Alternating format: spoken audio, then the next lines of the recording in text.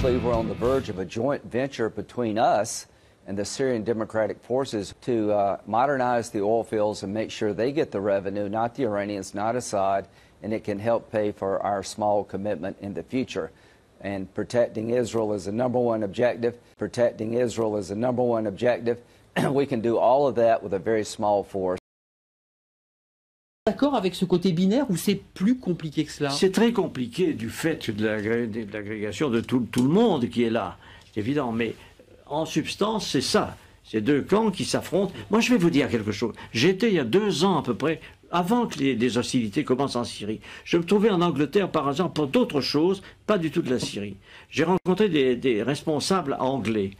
Et quelques-uns qui sont mes amis m'ont avoué, en me sollicitant, qu'il se préparait quelque chose en Syrie. C'était en Angleterre et pas en Amérique. L'Angleterre préparait l'invasion des rebelles en, Syrie. Et on m'a même demandé à moi, sous le prétexte j'étais ancien ministre des Affaires étrangères, si je participerais comme ça. J'ai évidemment dit le contraire. J'ai dit, moi, je, suis français, ça ne m'intéresse pas. Mais c'est pour dire que cette opération vient de très loin.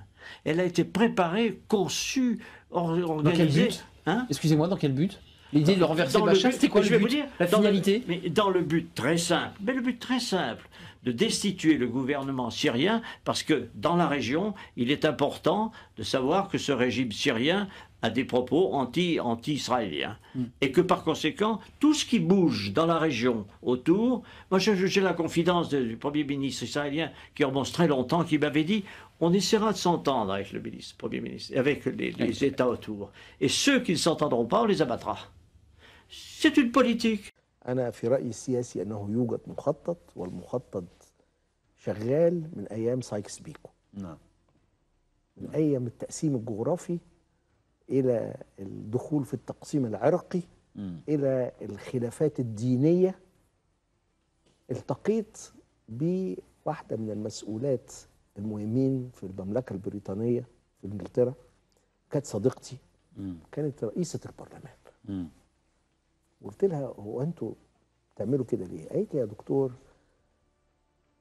التعبير if you quote me I will deny. يعني إذا قلت, قلت أنا قلت هنكر. لكن ده إحنا اتفاق متفقين عليه من سنة 2005 و2004 إن إحنا نجيب الإسلام المعتدل يحكم صحيح. وأنتوا تتخانقوا مع بعض وتسيبونا بقى في حالنا. قلت لها طب وبقية الشعب؟ مم. هيتي ما تزعلش مني. خسائر جانبية. وأعتقد أن ذلك كان أكبر خطأ ارتكبه بشار الاسد في حياته. لو أنه عقد السلام معي في كانون الأول 2008 لما عانوا من الحرب الأهلية. لأنني أعتقد لو أنه عقد السلام مع إسرائيل وأنهى العداوة بينه وبين سوريا. كان هذا سيجعل سوريا دبلوماسيا مرتبطة بإسرائيل مع سفارات وعلاقات تجارية وفتح الحدود. كان ذلك سيفتح البوابة إلى واشنطن وأوروبا. ويمكن أن أقول لك أن الرئيس بوش قال لي أريد قال لي وأقتبس كلامه كلام الرئيس جورج دبليو بوش. أريد أن يعرف الأسد أن الطريق إلى واشنطن تمر من القدس. فلو عقد الاتفاق بين إسرائيل وسوريا لفتحت أبواب واشنطن له مع الرئيس بوش. والشيء نفسه عن أوروبا.